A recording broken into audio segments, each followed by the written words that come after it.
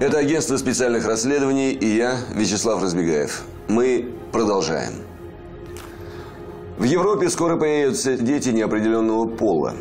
Конституционный суд Германии разрешил родителям ставить прочерк в соответствующей графе свидетельства о рождении. И если бы только это. Все чаще можно услышать слова, мол, переводятся настоящие мужчины, становятся женственными и понемногу превращаются в средний пол. Неужели это правда? Выражение «третий пол» все чаще мелькает в газетах и на телевидении. Под ним подразумевают то гермафродитов, имеющих и мужские, и женские черты, то андрогинов, людей со стертыми половыми признаками. И второе происходит куда чаще.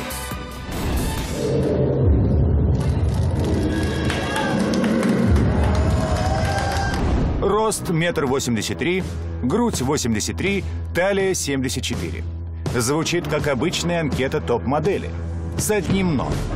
Звезда подиума, о которой идет речь, мужского пола. И зовут ее или его Данила Поляков.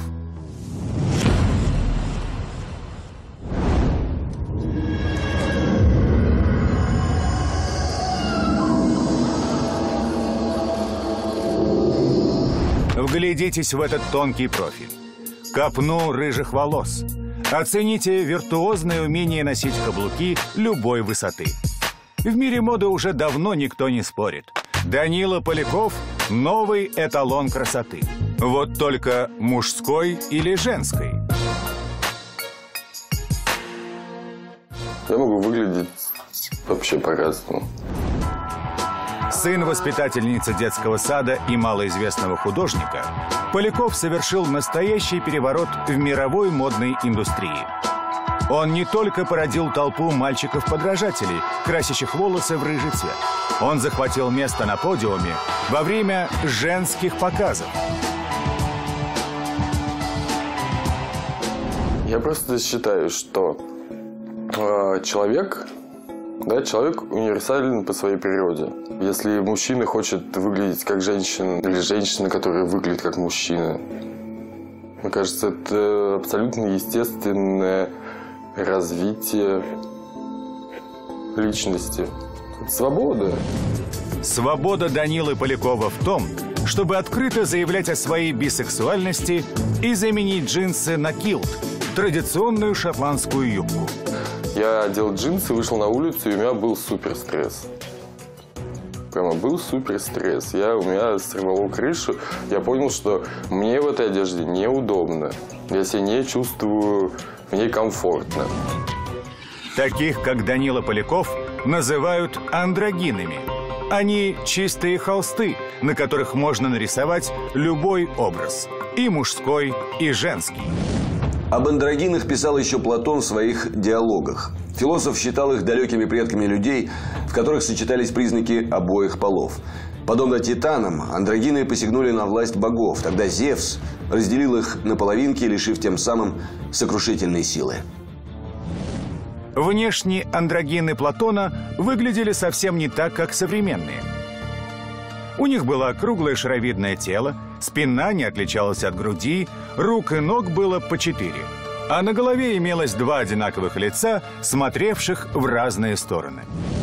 И вот якобы эти половинки до сих пор пытаются сблизиться, найти друг друга, чтобы стать единым целым. Отсюда идет андрогинность. Что же движет людьми-андрогинами в наше время? Известный российский сексолог Евгений Кащенко полагает, андрогины – это прежде всего социальное явление.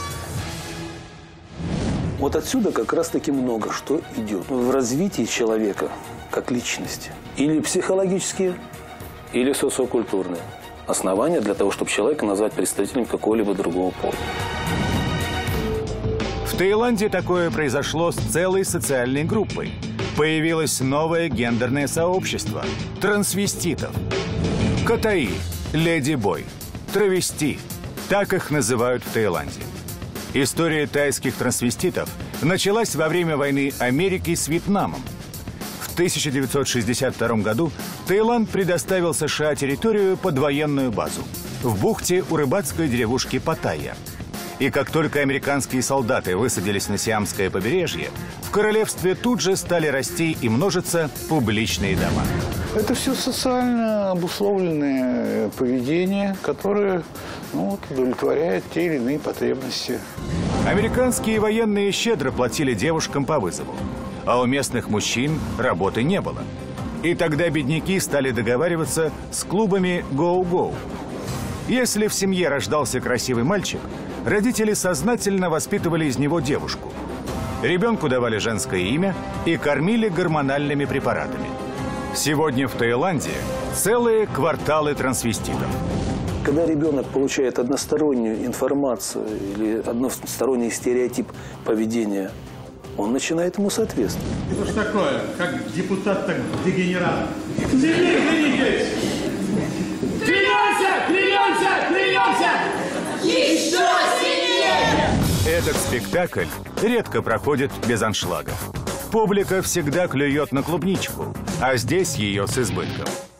Действие происходит в кабаре. Герои – партнеры в однополой семье. В одной из главных ролей – Александр Песков. Артист с неоднозначной репутацией.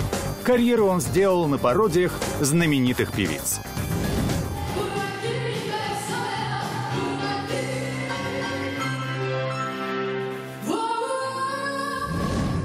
Я носил знамена всю жизнь свою в детстве и в отрочестве в школе. И школьное знамя носил, и пионерское носил, и красиво вышагивал. И знаю, вот видите, посадка сразу руки. Я знаю, как это делать. Да, я полковник казачьих войск сегодня. Да, я стрелок в Таманской дивизии. Он рос в полной семье. Как и полагается советскому гражданину, отслужил в армии. У Александра, как у всех, появилась семья, родилась дочь. Что же произошло потом? Я первый мужчина в этом государстве, который сказал однажды, мужчины, ходите э, в какие-то там, я не знаю, салоны парикмахерские, но, пожалуйста, уважайте себя. И маникюр-педикюр – это очень важно для мужчины. Призывы Пескова легли на благодатную почву. К тому времени россияне пережили перестройку и гласность.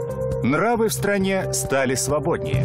Да почему мы должны кого-то э, отвергать и, и на кого-то э, там говорить, ой, ты не так одет, ой, ты не так пошел, ой, у тебя покотка была.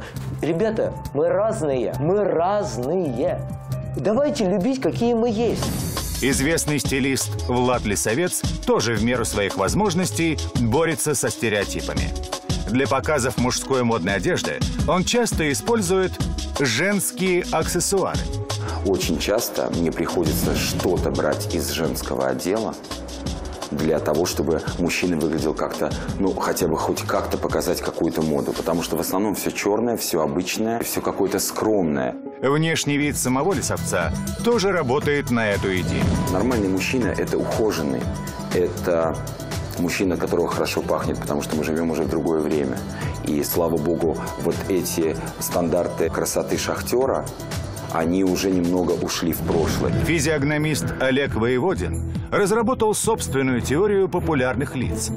Он считает, время брутальных героев, вроде Шварценеггера или Сталлоне, уже позади. На данный момент я вижу действительно женственность в мужчинах и мужественность в женщинах. А, объясню почему. Мужчина не хочет как бы заниматься вот этими серьезными заботами, там, например, держать скот. Более актуальней, как, а, не знаю, там, попрыгать, поскакать, завести толпу, да, вот такого плана.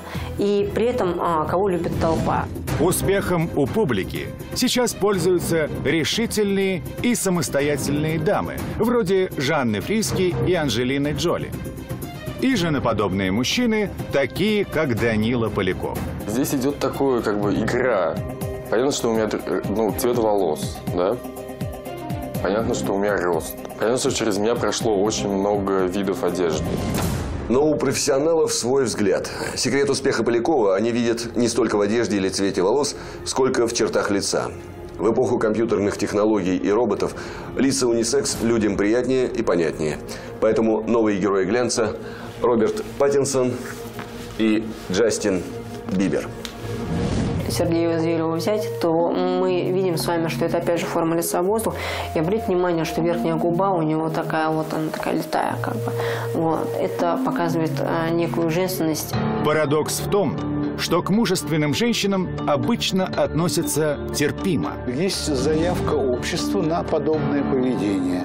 Создали там команду футбол женскую. Им же надо как-то тренироваться. А вот женственные мужчины, популярные в шоу-бизнесе, в реальности порой встречают отторжение. Вот у тебя красивый маникюр, да? А, И все восторгаются, и по телевидению там меня видят. Э, Я считаю, что он не мужской. Это правда.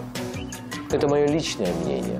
Но это моя профессия, это моя работа. Пусть меня кто-то ругает и обзывает как угодно. И мне не важно это. Это какое-то такое странное явление, то есть как- когда мужчины начинают красить себе ногти, как-то слегка тоже подкрашиваться, подрумяниваться, при том, что они не меняют э, сексуальной ориентации. Такое поведение, уверен журналист Артемий Троицкий, скорее всего, просто следствие агрессивной рекламы, которую используют косметические корпорации. Я думаю, что если третий пол и возникнет, то, скорее всего, это будет психологическая установка, нежели физиологическая реальность. Так кто же на самом деле эти люди, которых причисляют к третьему полу? Может, просто жертвы рекламы и любители эпатажа? Вообще, вот сторонники гендерной теории говорят о том, что полов по меньшей мере пять. Кто-то уже говорит, что вообще ставить вопросы о том, какого человека пола, это э, нетолерантно. И даже появилось такое слово гендерофобия. Однако официальная медицина ни третьего, ни какого-то другого пола не признает. Есть вот попытка в третий пол выделить все состояния, которые не подпадают поведенчески под э, чисто мужское, типовое и типовое женское поведение. Это случаи асексуализма, транссексуализма, трансвестизма, фетишизма там и всех прочих парафилий. Но подобные попытки в ученых кругах никто не воспринимает всерьез. В медицине есть понятие гермафродит. Э, Гермафродит, сын Гермеса и Афродиты. То есть это существо, которое сочетает в себе мужские и женские половые признаки.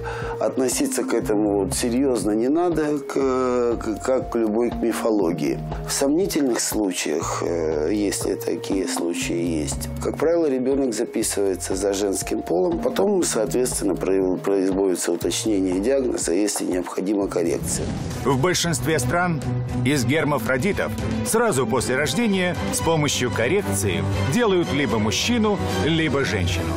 Третье исключено. Недавно на одном из интернет-сайтов мне попалась на глаза любопытная дискуссия. Ученые спорили, сколько полов останется в будущем.